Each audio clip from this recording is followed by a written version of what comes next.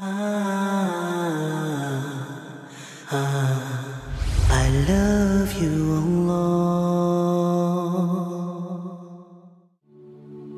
Allah. The Almighty says, Oh my slave, if you were to sin against me, harm me, neglect me for 10 years, 20 years, 30 years, 40 years, 50 years, 60 years, then one time in your life, only once in your life, you decided that I want to make tawbah and you said, Ya Rab, Allah says, Ya Abdi, what do you want?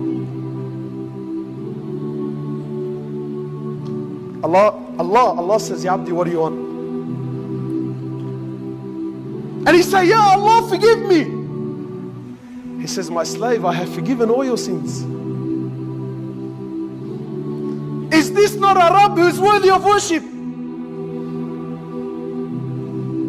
Does this Allah not, is, is he not worthy of being praised day and night?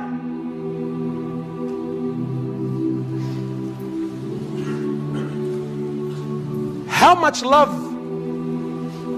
how much love does Allah have towards us?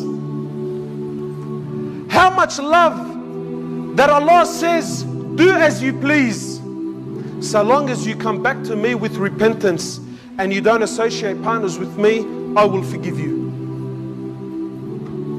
This is Allah, my brothers. This is Allah. And Allah wants to hear your voice.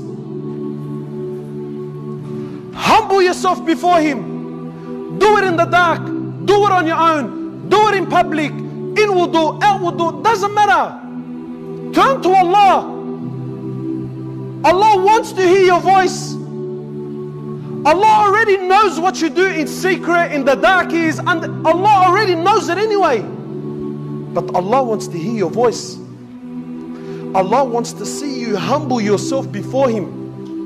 And that's why, my brother, when you raise your hands and you say, Ya Rab, Oh Allah, Oh Allah, Allah, if you don't forgive me, who's going to forgive me?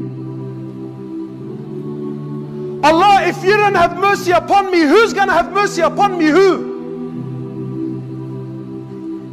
Allah, I knock on your door. If you don't open the door, then who's going to open the door? Who?